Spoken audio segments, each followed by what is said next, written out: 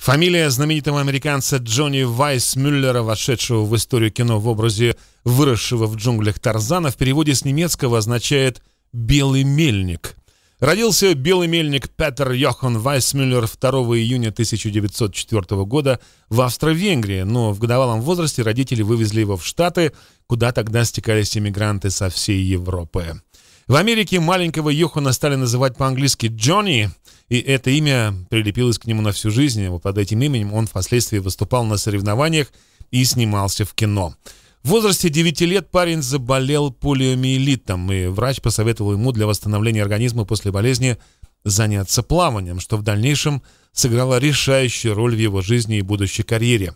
Когда родители развелись, Джонни пришлось бросить школу, чтобы зарабатывать на жизнь. Он трудился разносчиком зелени в овощной лавке, пляжным спасателем и одновременно посыльным в спортивном клубе штата Иллинойс. Вот там на 15-летнего Джонни Вайс Мюллера обратил внимание известный тренер по плаванию Билл Бахрах. Это был невероятно грубый, здоровенный мужичина весом в 150 килограммов, который орал на своего подчиненного «Ты будешь пахать как раб, ты будешь ненавидеть свои кишки, но ты побьешь все рекорды, какие есть, сынок!»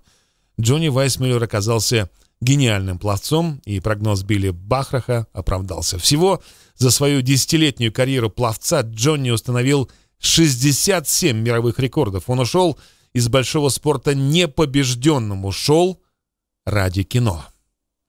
В 1932 году кинокомпания Metro Goldwyn Mayer собиралась снимать фильм по книге Эдгара Берроуза «Тарзан». И вот на роль Тарзана требовался молодой человек, который мог бы без стеснения вести себя перед кинокамерой практически голым, так как по сценарию вся одежда героя должна была состоять из некого подобия набедренной повязки.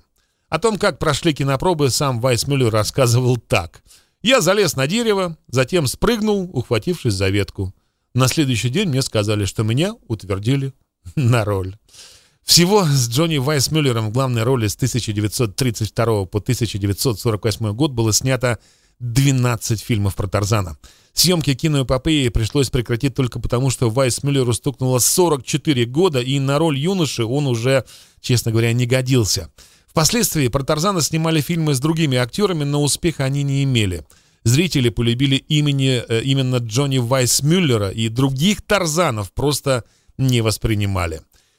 Личная жизнь у актера не сложилась, он был женат пять раз, кстати, пять раз, из них четыре раза на женщинах, которые выходили за него замуж с явно корыстными намерениями, чтобы оттяпать у знаменитости часть его состояния. А человеком он был очень состоятельным, ведь только за роль Тарзана актер получил в общей сложности 2 миллиона долларов, причем тех, старых долларов, которые до 1971 года не были подвержены инфляции, имели гарантированное государством золотое содержание и свободно обменивались на золото.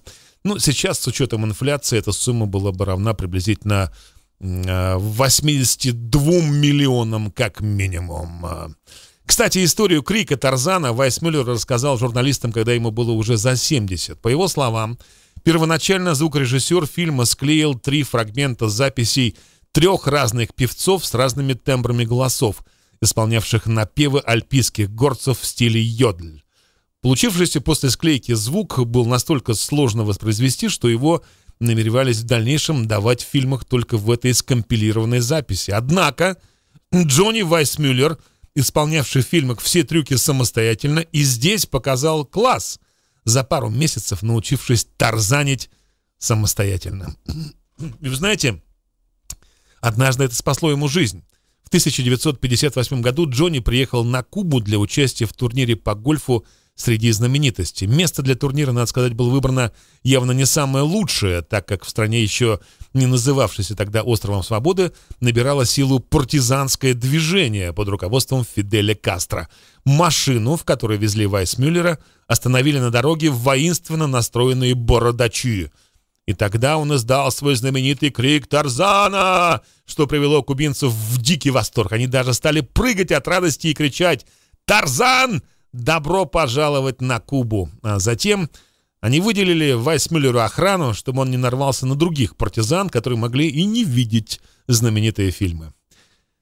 Умер Джонни Вайсмюллер 20 января 1984 года в городе Акапулько в Мексике на 80-м году жизни и похоронен там же, согласно его завещанию, в тот момент, когда гроб с телом Джонни Вайсмюллера опускали в могилу, трижды прозвучал крик Тарзана, специально для этого записанный на магнитофон.